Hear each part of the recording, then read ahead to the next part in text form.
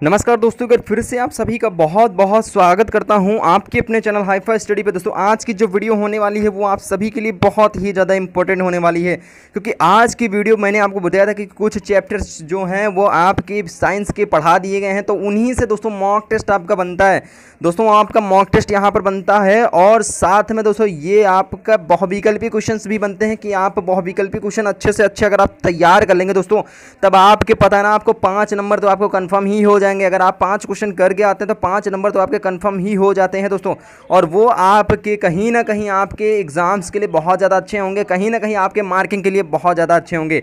तो दोस्तों, ये आप लोग जो बहुविकल्पी वाले क्वेश्चन होते हैं, इनको आपको बिल्कुल भी नहीं कमाना है। एक मिनट के लिए हम समझ सकते हैं कि हाँ अगर अत लघुत्री या लघुत्री क्वेश्चन में कहीं दो तीन लाइनें छूट गई तो चलिए, कुछ नहीं होगा तो आधा नंबर कट जाएगा, कोई दिक्कत नहीं होगी। लेकिन यहाँ पर तो टीका आपको लगाना है, सिर्फ़ और सिर्फ़ आंसर लिखना होता है। तो ये क्वेश्चन तो आपसे बिल्कुल भी छूटने ही नहीं चाहिए दोस्तों, ठीक है? तो चलिए इसी वजह से हम लोग मॉक टेस्ट पे ज़्यादा ध्यान दे रहे हैं और आपके लिए अभी लाइव मॉक टेस्ट भी शुरू होगा। दोस्तों, बहुत ही जल्द आपके लिए लाइव मॉक टेस्ट शुरू होगा, लेकिन उसके उससे पहले आपको कुछ अच्छे से पढ़ना भी हो चाहिए, ठीक है? तो चलिए जल्दी से देखिए, और उससे पहले मैं आपको बता दूँ डी की आल क्लास आल सेमेस्टर की क्लासेस अवेलेबल हैं। अभी फोर्थ सेमेस्टर की क्लास भी जल्द स्टार्ट होने वाली है और आप कहीं भी कोई भी पीडीएफ ले सकते हैं। आप लोग दोस्तों, यहाँ पर पीडीएफ भी प्रोवाइड हो जाती है। Hi study ninety four Facebook page भी लाइक कर सकते हैं। हाई स्टडी नाइन्टी फोर आप ट्विटर अकाउंट भी और इंस्टाग्राम पे भी और साथ में आपको पता है ना कि टेलीग्राम पे भी मिल जाती है। हाई स्टडी नाइन्टी फोर डालने पर। तो यहाँ पर सबसे पहले देखते हैं दोस्तों, वस्तुनिष्ठ प्रश्न, जो कि हमारा पहला क्वेश्चन साथियों बनता है। बहुत इंपॉर्टेंट क्वेश्चन है साथियों, पहला क्वेश्चन जल्दी से आप लोग बताइए कि सूर्य के प्रकाश को पृथ्वी तक आने में कितना समय लगता है? जी हाँ दोस्तों, सूर्य का जो प्रकाश है, वो पृथ्वी पे आने पर उसको कितना टाइम लगता है दोस्तों, ठीक है? तो ये बताना, आपको छः मिनट तीन मिनट आठ मिनट या दो घंटे, दस मिनट तो जल्दी से आप लोग अपना अपना आंसर बताइए। पाँच सेकंड का सिर्फ़ और सिर्फ़ आपको टाइम दिया जाएगा दोस्तों।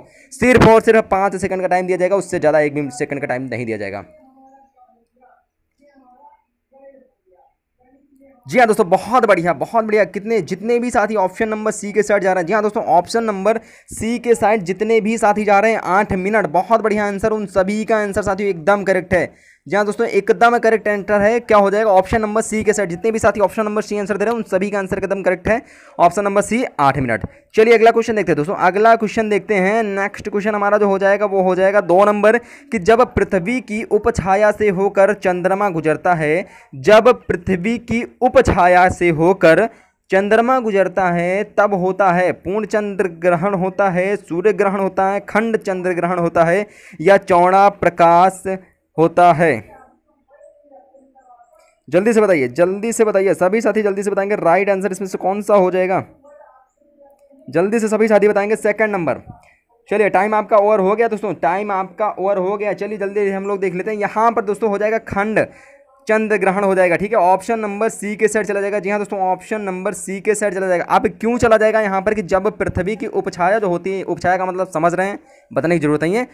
से होकर जब चंद्रमा, जब उस उपछाया से होकर जब चंद्रमा गुजरता है, तब खंड चंद्र ग्रहण होता है। यानी उसका आधा भाग जो होता है, वो नहीं दिखाई देता, आधा भाग दिखाई देता, खंड चंद्र ग्रहण हो जाता है दोस्तों, ठीक है? उसके बाद यहाँ पर दोस्तों हम लोग देखते हैं नेक्स्ट क्वेश्चन यहाँ थर्ड नंबर क्वेश्चन हम लोग हम लोग देखते हैं इंपॉर्टेंट क्वेश्चन है साथियों। टॉप ट्वेंटी या ट्वेंटी वन क्वेश्चन है, यहाँ पर बहुत इंपॉर्टेंट है दोस्तों आप सभी के लिए। गर्दा उड़ जाएगा, आपको पता है ना कि एक मंथ के अंदर आपको अच्छे से अच्छे तैयारी करनी तो हो जाएगी आपकी तैयारी, बिल्कुल भी आप टेंशन मत लीजिएगा, लेकिन जितना बताया जाए, अगर वीडियो में जितने भी क्वेश्चन बताए गए, सारे के सारे बस आपको देखने हैं, सारे के सारे आंसर आपको देने हैं, बस। लेकिन आप, आपको पता है कि आपके स्कूल वाले, कॉलेज वाले में तैयारी बिल्कुल भी नहीं हो रही है तो आपका एक ही माध्यम बनता है, वो बनता है, या तो आप अपनी पढ़ाई घर पे कर सकते हैं बैठ के, या फिर यूट्यूब चैनल के माध्यम से कर सकते हैं। तो सबसे बेटर आपको स्टडी मटेरियल डी का दिया जा रहा है तो आप ग्रहण करिए। बिल्कुल फ्री में दिया जा रहा है, कोई चार्ज नहीं लिया जा रहा है दोस्तों, कोई भी चार्ज नहीं लिया जा रहा है, बस आपसे यही वाला जा रहा है कि वीडियो को तो लाइक कर ही दीजिए बस। आपसे एक ही चार्ज लिया जाता है कि वीडियो को लाइक कर दीजिए बस। तो यहाँ पर दोस्तों थर्ड नंबर हमारा क्वेश्चन हो जाता है कि भारत के पहले अंतरिक्ष यात्री थे। भारत के जो पहले अंतरिक्ष यात्री थे वो कौन थे? आपको बताना है आर्यभट्ट राकेश शर्मा, सतीश धवन या भास्कर। आपको पाँच सेकंड का टाइम दिया जा रहा है दोस्तों। बहुत बढ़िया बहुत बढ़िया वेरी गुड बहुत बढ़िया। यहाँ पर ऑप्शन नंबर बी के साथ बहुत सारे बच्चे ऑप्शन नंबर बी के साथ जा रहे हैं। मतलब एकदम करेक्ट आंसर हो जाएगा। Option number B Rakesh Sharma हो जाएगा हमारा करेक्ट आंसर बहुत बढ़िया। चलिए नेक्स्ट क्वेश्चन हम लोग देख लेते हैं। बहुत इंपॉर्टेंट क्वेश्चन साथियों दिया गया है। फोर्थ नंबर क्वेश्चन जो कि आपका है, बहुत ज़्यादा इंपॉर्टेंट क्वेश्चन है। तो जल्दी से आप लोग इसका आंसर बताइए। नासा का मुख्यालय स्थित है। नासा का मुख्यालय स्थित है। मैंने नासा के बारे में आपको क्वेश्चंस के ऊपर एक स्प्लिट वीडियो बनी हुई है साइंस की वीडियो आप डिस्क्रिप्शन बॉक्स में जाएँगे, वहाँ पर आपको सारी प्लेलिस्ट मिल जाएँगी। सारी प्लेलिस्ट मिल जाएँगी। साइंस वाली प्लेलिस्ट में जा करके आप लोग देख सकते हैं। वहाँ पर पर्टिकुलर नासा के बारे में बताया गया है। तो नासा का मुख्यालय भी वहाँ पर बताया गया था। तो नासा का मुख्यालय जितने भी साथी ऑप्शन नंबर द आंसर दे रहे हैं, उन सभी का आंसर एकदम करेक्ट है। जी हाँ दोस्तों ऑप्शन नंबर द आंसर एकदम करेक्ट है। वॉशिंगटन डीसी हो जाएगा। वॉशिंगटन डीसी हो जाएगा। अगला क्वेश्चन देखते हैं हम लोग फाइव नंबर क्वेश्चन जी हाँ दोस्तों फाइव नंबर ये इकतीस दिन की रणनीति है दोस्तों। यहाँ पर इकतीस दिन की रणनीति के नाम से एक बैच चल रहा है। समझ लीजिए, आप बैच है इकतीस दिन की रणनीति। ठीक है तो इसी इकतीस दिन में हमको इतना ज़्यादा पढ़ लेना है कि सेकंड सेमेस्टर हम पूरे साल से छः महीना पढ़ते थे, वो हमको सिर्फ़ और सिर्फ़ इकतीस दिन में पढ़ लेना दोस्तों। ठीक है तो चलिए देखते हैं हम लोग फाइव नंबर क्वेश्चन यहाँ पर क्या दिया गया है। सूर्य का सबसे निकटतम ग्रह है। सूर्य का सबसे निकटतम ग्रह है अरुण, वरुण, शनि बुद्ध अरुण, वरुण, शनि, बुध। तो जल्दी से सभी साथी अपना अपना आंसर अपना अपना तथ्य बताएँगे। जल्दी से सभी साथी बताएँ। बहुत बढ़िया बहुत बढ़िया। वेरी गुड वेरी गुड बहुत उम्दा आंसर बहुत ही उम्दा आंसर मतलब जितने भी साथी आंसर दे रहे हैं उन सभी का जो आंसर आ रहा है वो दोस्तों ऑप्शन नंबर दा के साइड जा रहा है बुद्ध। ऑप्शन नंबर दा के साइड जा रहा है बुद्ध हो जाएगा हमारा राइट आंसर बहुत बढ़िया। चलिए देख लेते हैं अगला क्वेश्चन सिक्स नंबर क्वेश्चन साथियों दिया गया है। यहाँ पर बहुत इंपॉर्टेंट क्वेश्चन है कि सूर्य का सबसे दूरस्थ ग्रह सूर्य का सबसे दूरस्थ ग्रह मतलब सबसे दूर ग्रह कौन सा है यहाँ पर? सूर्य का सबसे दूरस्थ ग्रह कौन सा है? बहुत बढ़िया बहुत बढ़िया। वेरी गुड वेरी गुड बहुत बढ़िया बहुत बढ़िया। देखिए, जो वरुण है ऑप्शन नंबर ए के साइड चला जाएगा। जी हाँ दोस्तों ऑप्शन नंबर ए के साइड चला जाएगा। जो वरुण ग्रह है हमारा, वो सूर्य का सबसे दूरस्थ ग्रह है। यानी सूर्य से सबसे दूर ग्रह है वरुण, ठीक है? वरुण जो है वो सबसे दूर है। नेक्स्ट क्वेश्चन हमारा बनता है दोस्तों, बहुत इंपॉर्टेंट क्वेश्चन है ये भी। और लगभग प्रीवियस में पूछा गया क्वेश्चन यहाँ पर दोस्तों हैं आप सभी के। बलुई दोमट मिट्टी में रेत की मात्रा होती है। बलुई दोमट मिट्टी में रेत की मात्रा होती है साठ से अस्सी प्रतिशत, साठ से कम या पचास से साठ या साठ से अधिक। तो जल्दी से सभी लोग आंसर बताएँगे। उससे पहले मैं आपको बता दूँ दोस्तों, उससे पहले मैं आप लोग सभी सभी आंसर आप लोग बताइए। मैं आंसर देख रहा हूँ आप सभी के। और दोस्तों यहाँ पर मैं आप सभी को बता दूँ कि देखिए बुक वगैरह जो है, वो अभी अभी फ़िलहाल के लिए अवेलेबल नहीं है बहुत जगह ऐसी हैं बुकें जो अवेलेबल नहीं है दोस्तों, ठीक है? अवेलेबल बुकें अवेलेबल नहीं है, लेकिन आपसे मैं यही बोल रहा हूँ दोस्तों, मैं बुक का ही कंटेंट दे रहा हूँ। आप अगर बुक नहीं खरीद सकते तो बिल्कुल मत खरीदिए और बिल्कुल भी बुक की चिंता मत करिए। पूरा बुक की पीडीएफ आपको अवेलेबल हो रही है टेलीग्राम पर जी हाँ दोस्तों, पूरी बिक बुक की जो पीडीएफ है, वो सारी की सारी टेलीग्राम पर अवेलेबल हो रही है तो क्या मतलब है बुक खरीदने का? क्यों खरीद रहे हैं आप लोग? बिल्कुल भी बुक मत खरीदिए आप, बिना बुक के यूट्यूब चैनल से आप अच्छी से अच्छी पढ़ाई कर सकते यार, एक से एक बंदे पढ़े हैं जो कि यूट्यूब चैनल से इनकी गवर्नमेंट जॉब लग गई तो यार आप एक अच्छी तैयारी नहीं कर सकते। बिल्कुल कर सकते बहुत बेहतरीन कंटेंट दिया जाएगा। आप सभी को उतना ही दिया जाएगा जितना इंपॉर्टेंट है। फालतू की बकवास नहीं कीजिएगा, फालतू के क्वेश्चन नहीं दिए जाएँगे, जो कि कभी नहीं पूछे गए हैं, वो क्वेश्चन तो दिए ही नहीं जाएँगे। ठीक है दोस्तों तो जल्दी से बताइए सात नंबर का राइट आंसर बहुत बढ़िया, सात नंबर का लगभग student option number A answer दे रहे हैं। जी हाँ दोस्तों ऑप्शन नंबर ए आंसर दे रहे हैं। उन सभी का आंसर एकदम करेक्ट है, यानी साठ प्रतिशत से लेकर के अस्सी प्रतिशत हो जाएगा हमारा राइट आंसर बहुत बढ़िया। चलिए अगला क्वेश्चन देखते हैं। अगला क्वेश्चन यानी आठ नंबर क्वेश्चन आप सभी के सामने आ चुका है। नियमित खाद के प्रयोग से होती है। नियमित खाद के प्रयोग से होती है, उपज की वृद्धि होती है। पानी की वृद्धि होती है, मिट्टी की वृद्धि होती है या इनमें से कोई नहीं। तो जल्दी से सभी साथी बताएँगे इसका राइट आंसर जी हाँ दोस्तों, क्या हो जाएगा? नियमित खाद के प्रयोग से होती है। जी हाँ दोस्तों, नियमित खाद के प्रयोग से होती है। अगर, पता है ना आपको, अगर खेतों में आपने अभी इस टाइम क्या लगाया है? धान लगाया है। और आप क्या करते? धान में पानी देते ठीक है बहुत बढ़िया थी। आ, मिट्टी में वृद्धि करते मिट्टी में वृद्धि वैसे कर नहीं सकते क्या मतलब मिट्टी में वृद्धि करने का? यानी खेत में जैसे हमारे जैसे दो ट्राली माटी मिट्टी या कम है तो उसमें हम कहाँ से लाके डाल देंगे? ठीक है बिल्कुल खेत में मिट्टी अधिकता नहीं की जा सकती है। इनमें से कोई बिल्कुल नहीं हो सकता। तो यहाँ पर दोस्तों क्या होता है नियमित खाद के प्रयोग से क्या होती है? उपज की वृद्धि होती है यानी अगर आप खाद बराबर डालेंगे खेतों में अगर खाद नहीं डालेंगे तो उपज कम हो जाएगी अगर खाद डालते रहेंगे। तो क्या होगी? उपज की वृद्धि होती है, यानी ऑप्शन नंबर ए के साइड चला जाएगा। ऑप्शन नंबर ए के साइड चला जाएगा। नेक्स्ट क्वेश्चन हम लोग देखते हैं, नौ नंबर साथियों दिया गया है। नौ नंबर क्वेश्चन दिया गया है कंपोस्ट खाद बनाई जाती है। कंपोस्ट जो खाद होती है, वो बनाई जाती है, गोबर से बनाई जाती है, कूड़ा कचड़ा से बनाई जाती है आवा दोनों से बनाई जाती है, या इनमें से कोई नहीं। जी हाँ दोस्तों, इनमें से कोई नहीं। तो जल्दी से बताइए, सभी साथी राइट आंसर इसमें कौन सा हो जाएगा? जितने भी साथी आंसर दे रहे हैं, बहुत बढ़िया, नौ नंबर के जितने भी साथी आंसर दे रहे हैं, बहुत बढ़िया, यानी ऑप्शन नंबर सी के साइड सभी साथी जा रहे हैं। जी हाँ दोस्तों ऑप्शन नंबर सी के साइड जा रहे हैं मतलब एकदम करेक्ट आंसर हो जाएगा। अगर ऑप्शन नंबर सी के साइड आप जा रहे हैं तो एकदम करेक्ट आंसर हो जाएगा। क्यों हो जाएगा? क्योंकि आपको पता है ना, क्योंकि आपको पता है कि कंपोस्ट खाद जो बनाई जाती है, दोस्तों, वो कूड़ा कचड़ा भी उसमें डाल देते हैं हम लोग, जो अनावश्यक चीज़ें होती हैं, उसमें गोबर भी डाल देते हैं ऐसा तो है नहीं कि पर्टिकुलर हम गोबर ही डालते हैं, घर का कूड़ा भी डाल देते हैं और जो बच्चे, क्या होता है, जिनके घर पे चूल्हे से खाना वगैरह बनता है, मेरे घर भी बनता है कभी कभी ऐसी बात नहीं है, ठीक है? लेकिन क्या होता है कि यहाँ पर जो राख होती है, चूल्हे पे जो खाना बनाया जाता है, उसकी जो राख होती है, राख को भी हम डाल देते हैं।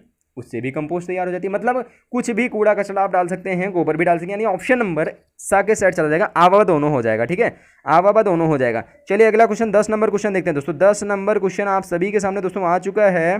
क्वेश्चन दिया गया है यहाँ पर कि नाइट्रोजन उर्वरक से पौधों पौधे बढ़ते हैं। नाइट्रोजन उर्वरक से उर्वरक से पौधे बढ़ते हैं। अति, अतिशीघ्र गति से बढ़ते हैं, धीमी गति से बढ़ते हैं या बढ़ते ही नहीं हैं या इनमें से सभी?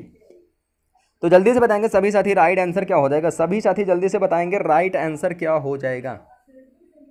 बहुत बढ़िया बहुत बढ़िया वेरी गुड वेरी गुड बहुत उम्दा है, बहुत उम्दा है। बहुत बढ़िया, चलिए देख लेते हैं दस नंबर का राइट आंसर जितने भी साथी दस नंबर का ऑप्शन नंबर ए आंसर दे रहे हैं अति शीघ्र गति से। जी हाँ दोस्तों अति शीघ्र गति से जितने भी साथी आंसर दे रहे हैं, उन सभी का आंसर एकदम करेक्ट हो जाएगा। ऑप्शन नंबर ए के साइड चला जाएगा अति शीघ्र गति। बहुत बढ़िया, बहुत ही बढ़िया।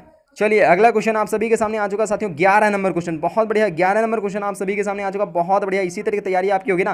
तो एक मंथ नहीं, आप 20 दिन के अंदर अपनी तैयारी कंप्लीट कर लेंगे। 20 दिन के अंदर आप अपनी तैयारी कंप्लीट कर देंगे। ये हाई फाई स्टडी का दावा है दोस्तों।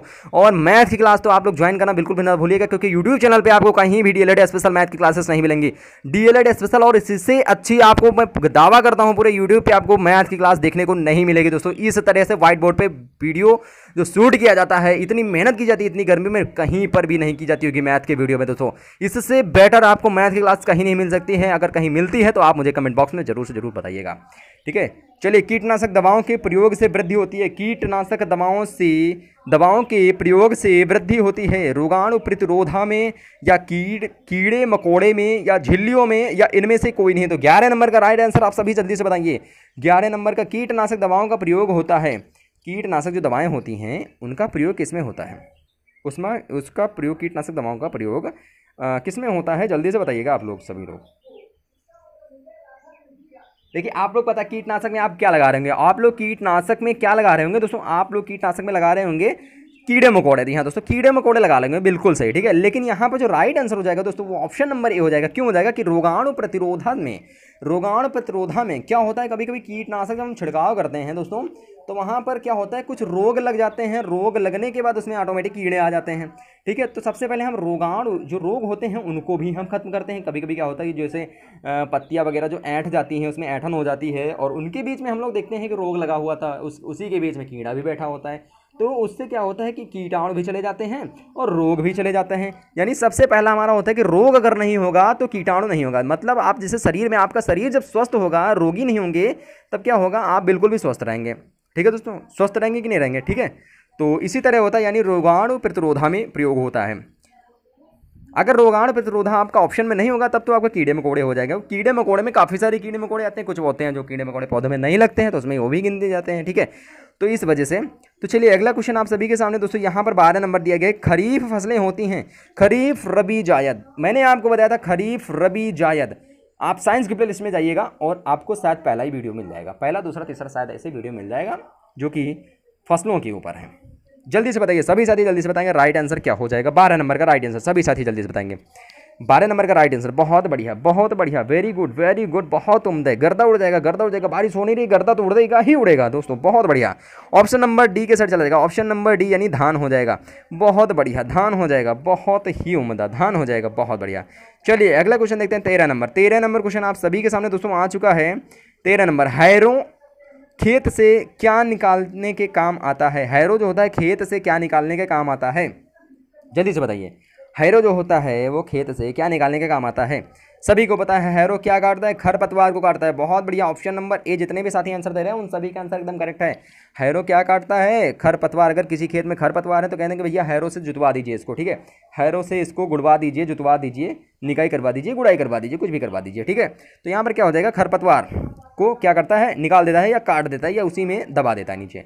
उसके बाद नेक्स्ट क्वेश्चन हमारा हो जाएगा साथियों। नेक्स्ट क्वेश्चन आप सभी के सामने आ चुका है दोस्तों की कि डिबलर से बुआई नहीं होती है, डिबलर से बुआई नहीं होती है, गेहूँ की बुआई नहीं होती है, चने की, धान की या फिर बाजरा की। तो जल्दी से बताएँगे, ये तो सभी को कंफर्म ही होगा। जी हाँ दोस्तों, सभी को डिबलर से क्या होता है? डिबलर से हमेशा क्या बोए जाते हैं दोस्तों? बीज बोए जाते हैं। जी हाँ दोस्तों, बीज बोए जाते हैं, जैसे कि आपको बताया भी मैंने था इस प्लेट वीडियो में, इससे पहले वाले वीडियो में अच्छे से बताया भी था। तो आप एक काम करिए कि अगर आप वीडियो नहीं देखे हैं साइंस की तो प्ले में जाकर आप लोग वीडियो ज़रूर देखिए दोस्तों, ठीक है?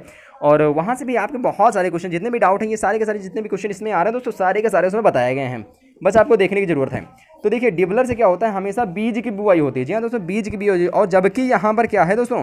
जबकि यहाँ पर धान के बीज की बुआई नहीं होती है, जबकि यहाँ पर धान की रोपाई होती है। बुआई तो होती नहीं, धान की क्या होती है दोस्तों? रोपाई होती है। इसका जो पेड़ होता है छोटा छोटा पौधा होता है, उसको, उसकी रोपाई की जाती है, ठीक है? उसको लगाया जाता है खेतों में, पानी भर के, पाटा मार के। पाटा मतलब जिसको सरावन गाँव में कहते हैं, ठीक है? चलिए, बहुत बढ़िया। धान की क्या हो जाएगा? डिबलर से बुआई नहीं होती है धान की। बाकी चने की भी बुआई डिबलर से होती है, डिबलर से होती है, बाजरा की भी होती है और गेहूँ की भी होती है। चलिए, अगला क्वेश्चन आप सभी के सामने, जल्दी से बताइए। आप सभी के सामने पंद्रह नंबर क्वेश्चन दिया गया दोस्तों, पंद्रह नंबर।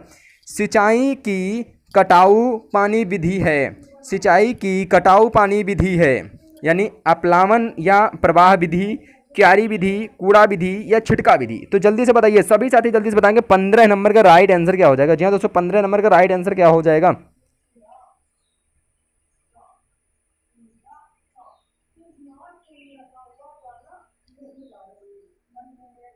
बहुत बढ़िया, बहुत उम्दा आंसर बहुत ही बढ़िया, बहुत बढ़िया। ऑप्शन नंबर ए के साइड चला जाएगा, अपलामन या प्रवाह विधि। सिंचाई की कटाऊ पानी विधि क्या होती है? अपलावन यानी पानी जब ज़्यादा हो जाता है खेतों में, ऊपर से अपलावन होने लगता है या बहाव होने लगता है या प्रवाह होने लगता है पानी का तो वही होती है हमारी सिंचाई की कटाऊ पानी विधि। ओके? बहुत बढ़िया।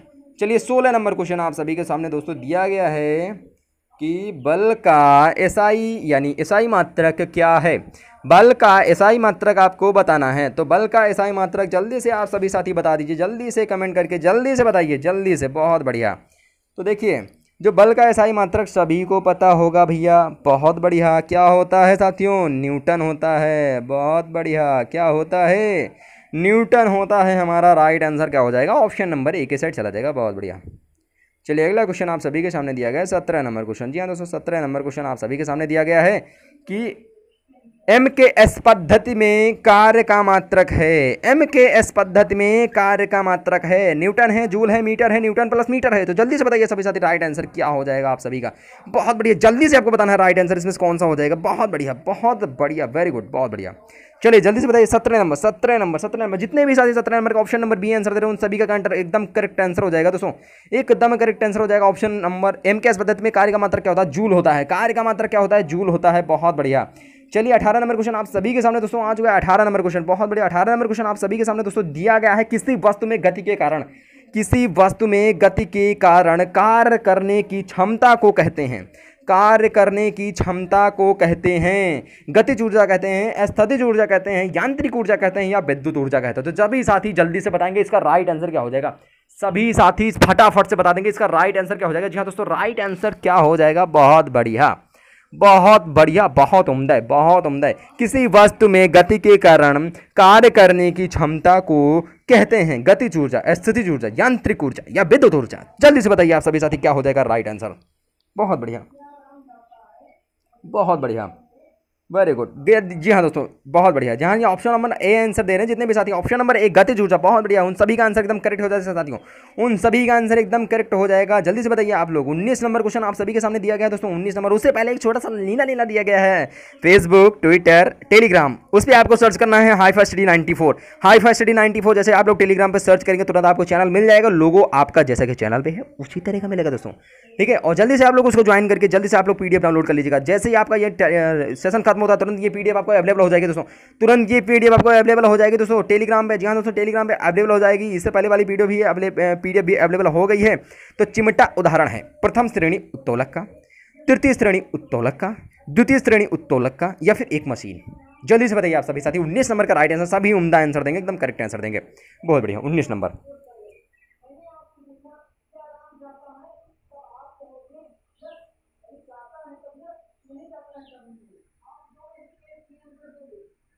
बहुत बढ़िया बहुत बढ़िया बहुत बढ़िया बहुत बढ़िया। चिमटा उदाहरण है, चिमटा उदाहरण है उत्तोलक, तृतीय उत्तोलक, तृतीय श्रेणी के उत्तोलक। यानी ऑप्शन नंबर सी के साथ जितने भी साथी जा रहे हैं, उन सभी का आंसर करेक्ट है। और जितने भी नहीं जा रहे हैं तो उनको लाइन पे आना होगा।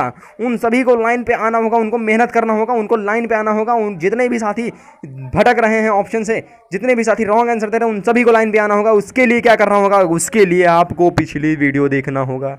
उसके लिए आपको पिछली वीडियो देखना होगा। पिछली वीडियो देखने के लिए आपको डिस्क्रिप्शन बॉक्स में जाना होगा। वहाँ पर आपको दोस्तों प्लेलिस्ट मिल जाएगी। प्लेलिस्ट मिल जाएगी या फिर आप चैनल पर जाके चैनल पर जाकर प्लेलिस्ट वाले ऑप्शन पर जाके आप लोग सारी की सारी प्लेलिस्ट से वीडियो देख सकते हैं। वहाँ पर आपको एकत्रित वीडियो मिल जाएगी। या फिर आपको कमेंट बॉक्स में या फिर डिस्क्रिप्शन बॉक्स में आपको एक नंबर मिल जाएगा। नंबर पर आप हमें मैसेज करिए। मैसेज करने के बाद तुरंत आपको हम प्ले सेंड कर देंगे।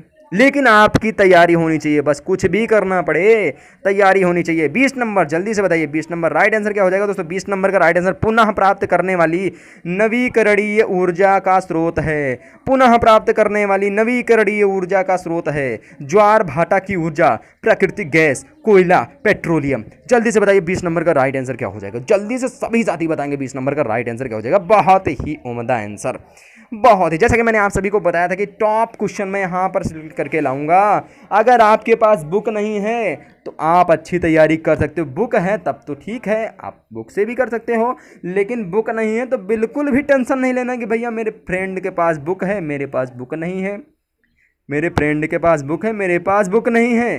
बिल्कुल नहीं टेंशन लेना है, क्योंकि बुक का ही सब आपको बताया जा रहा है यहाँ पर। बिल्कुल भी आपको टेंशन नहीं लेना है।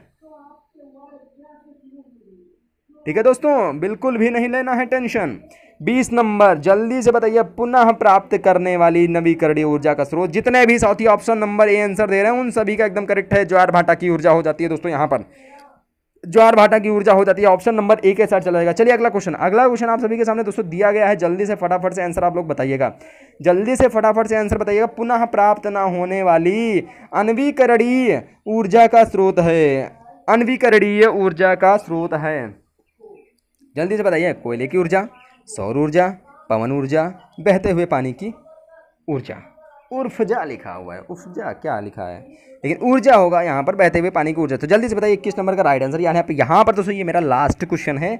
वीडियो को अगर आप हैं वीडियो पे, पसंद आई है, चैनल पे पसंद आई है वीडियो तो वीडियो को तो एक थम्स करके लाइक करके ही जाना दोस्तों। लाइक करके ही जाना वीडियो को। जी हाँ दोस्तों, वीडियो को ज़रूर से ज़रूर आप लोग लाइक कर दिए कितना सेकंड लगता है? आपके एक लाइक से मेरा जितना मनोबल बढ़ता है ना, उतना ही आपको फ़ायदा मिलेगा दोस्तों। जितना मनोबल बढ़ेगा, उतना ही फ़ायदा मिलेगा। जितना आप लोग वीडियो को लाइक करेंगे, जितना शेयर करेंगे, उतना ही बेटर बेटर आपके लिए कंटेंट आएगा। कभी कभी क्या होता है, वीडियो को बहुत सारे बच्चे देखते हो, देखते रहते हैं, लेकिन लाइक नहीं करते थोड़ा सा मनोबल गिर जाता है कि मतलब इतनी मेहनत कर रहे इतने पसीने में, पंखे की आवाज़ नहीं आ रही है, पंखा बंद करना पड़ा, पसीना ऊपर से नीचे तक हो रहा लेकिन एक वीडियो को बच्चे लाइक नहीं कर सकते यार, ये थोड़ा बुरा लगता है, लेकिन आप लोग अगर लाइक कर देंगे तो बहुत बढ़िया है। चलिए, ये चैनल आपका है यार, आप नहीं लाइक करेंगे तो कौन करेगा लाइक यार, ये बताओ, आप नहीं करेंगे तो कौन करेगा, बताइए जल्दी से हमें, कौन करेगा, गाँव वाले करेंगे?